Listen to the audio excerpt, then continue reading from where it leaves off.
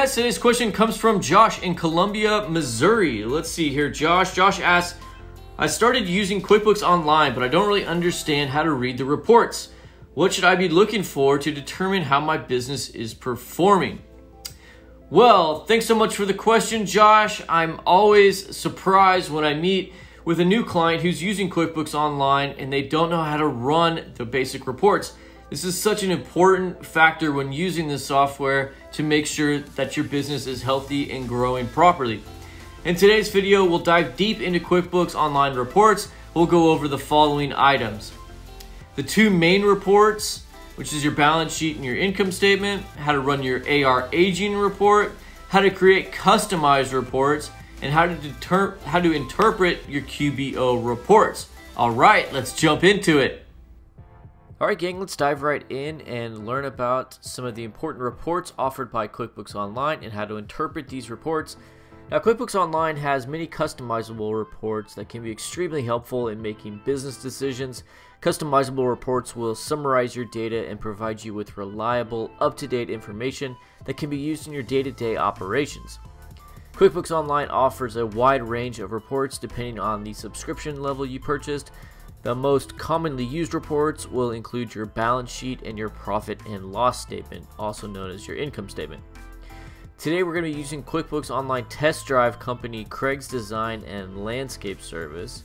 If you do a quick Google search for QuickBooks Test Drive, you can use this example company to make adjustments and you don't have to worry about making mistakes in your books.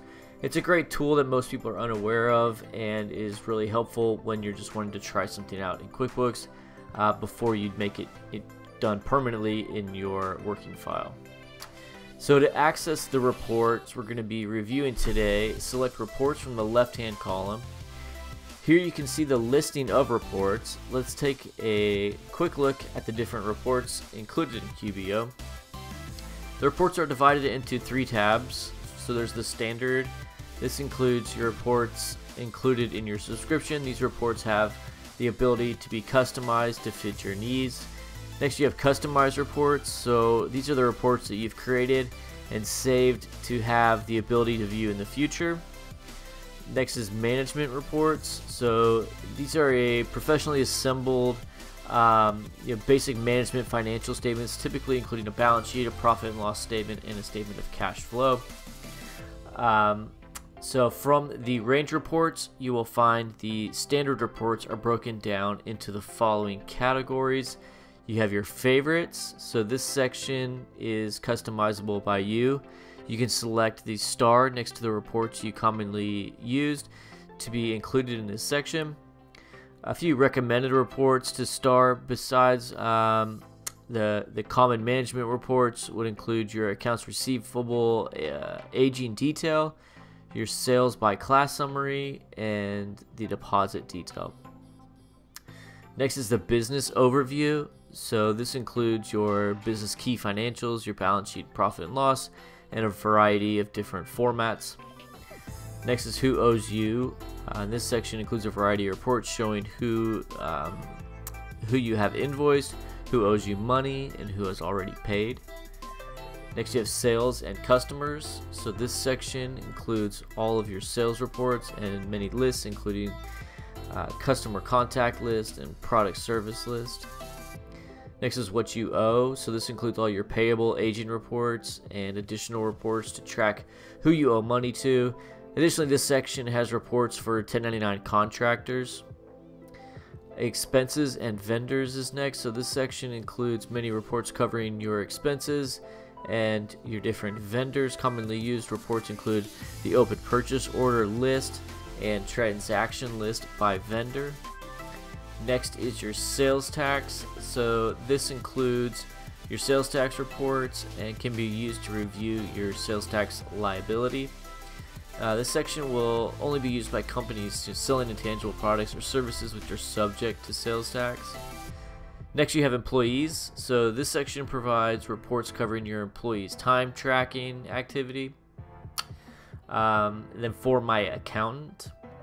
So this section includes common reports run by accountants. So these are not just for your CPA, but you can be used by, by you to get a better understanding of your business. Commonly used reports include your adjusting journal entries, or known as AJEs, uh, your general ledger, and your transaction by detail. Um, next is payroll. So this section is for companies running payroll inside of QuickBooks Online. So it includes reports used um, to review your payroll history, payroll tax liabilities, track employee benefits, and lots of summary reports. So depending on your subscription level, and if you have a payroll subscription, will dictate the reports you're able to see and access. All subscriptions will provide the basic reports, but the higher the subscription level, the more reports will become available. So let's start with the two main financial reports for any business, and this includes the balance sheet and income statement or profit and loss statement. So the balance sheet. The balance sheet details what a business owns, so your your current asset and what it owes, so your total liabilities, and its worth, so your shareholders or owners equity at a specific point in time. So such as you know the start date or end date of the fiscal year. In the simplest terms, the balance sheet subtracts what you owe from what you own to calculate your business's net worth.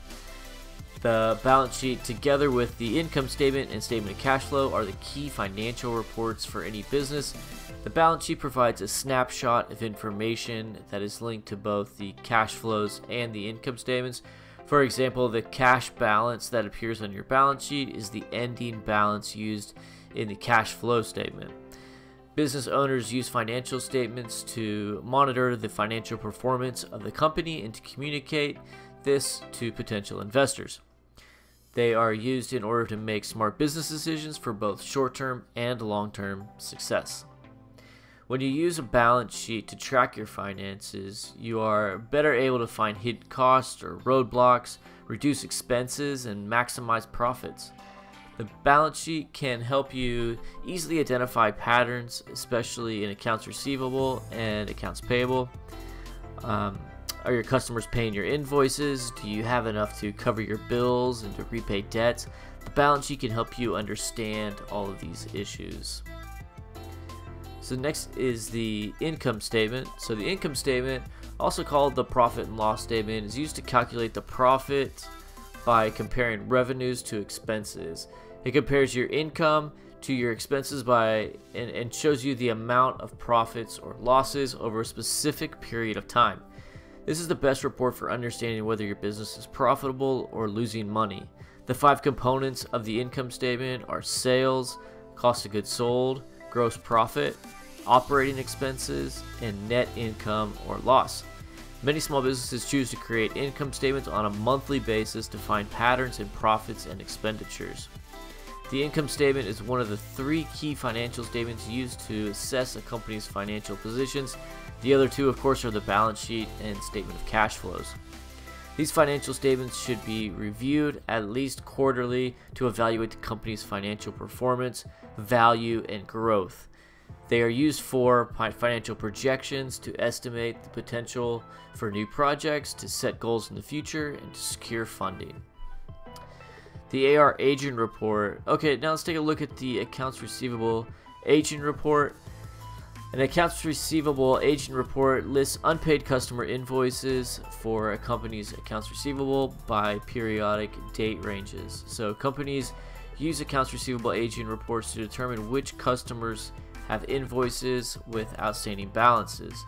This collection tool makes it easy for businesses to uh, identify late paying customers and to look for trends to analyze how their collection processes are going.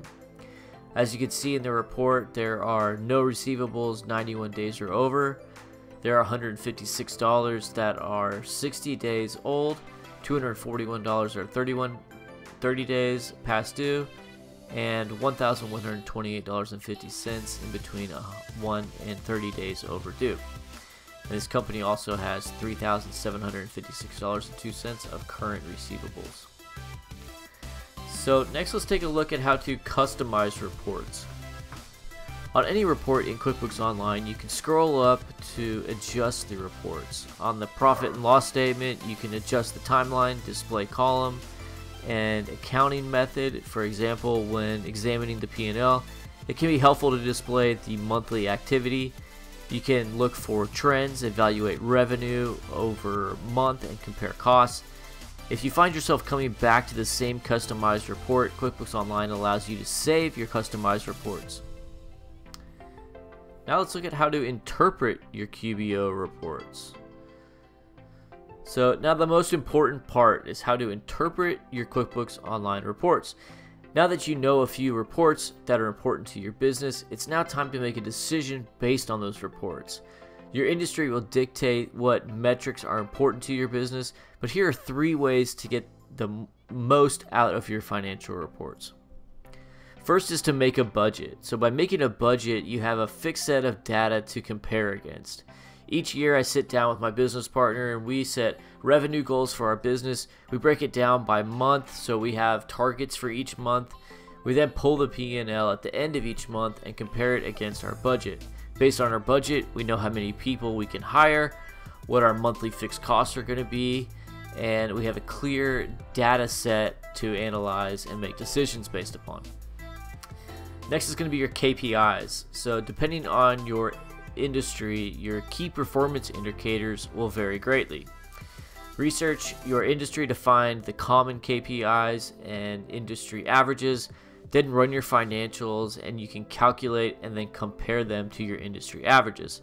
Some common KPIs include your revenue growth, your revenue per client, your profit margin, your client retention rate. Next, let's look at the monthly review. So the most important thing you can do to understand your business is to regularly review and interpret your financial statements. Once your books are reconciled, print the balance sheet and the profit and loss statement and review them in detail. Understand where your cash is going and how much profit you have accumulated. If you're new to business, it may be good to sit down with a CPA for 30 minutes and walk through your financials. I hope you enjoyed that video. As you can see, there's a lot of great information in those QBO reports, so make sure you're running them often. As, um, as you work with the different reports in QBO, you will begin to get a really strong understanding of your business's finances and how your business is operating. So this will help you make really important business decisions like, like when to hire employees or add additional office space or purchase inventory or even take out distributions to the owners. If you learned something, please consider subscribing to the channel down below uh, for more great tax and accounting content. Thanks so much, um, and we'll see you in the next video. By the way, guys, if you are new to QuickBooks and definitely want to pick up one copy of my uh, my new book, The Small Business Guide to QuickBooks Online, it's the perfect guide for uh, beginners to QuickBooks Online, so you can find that in the link down below. If there's something specific you'd like to cover in an upcoming video, please leave a comment down below or head over to our website at askacpa.co and submit a question online. Thanks again, and we'll see you in the next video.